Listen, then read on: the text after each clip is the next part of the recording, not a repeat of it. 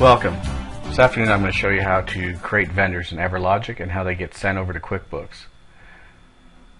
So in this demonstration we are going to create a vendor, click on the vendor button in the company shared area on the system setup tab.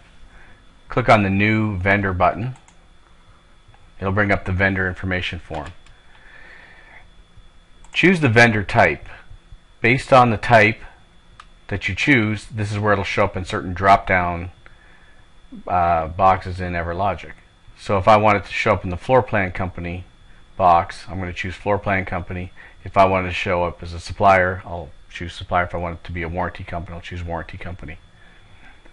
I'm going to choose floor plan company in this demonstration. We'll type in NextGear.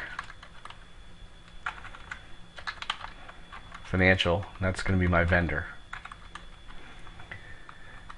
Now a new feature here is I'm going to add the terms, and this is pulling from QuickBooks. So if you have access to QuickBooks, you'll be able to pull terms. I'm going to choose floor plan as my terms. Put in a phone number for that vendor.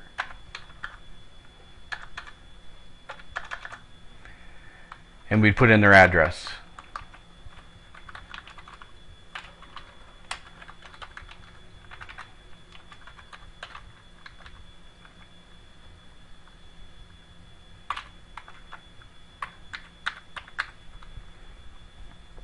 And we're going to save our changes.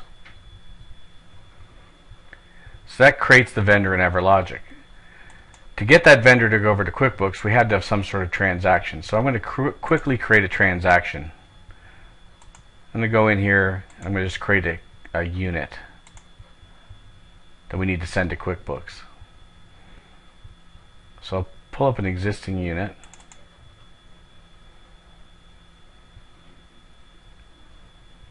Going to copy it.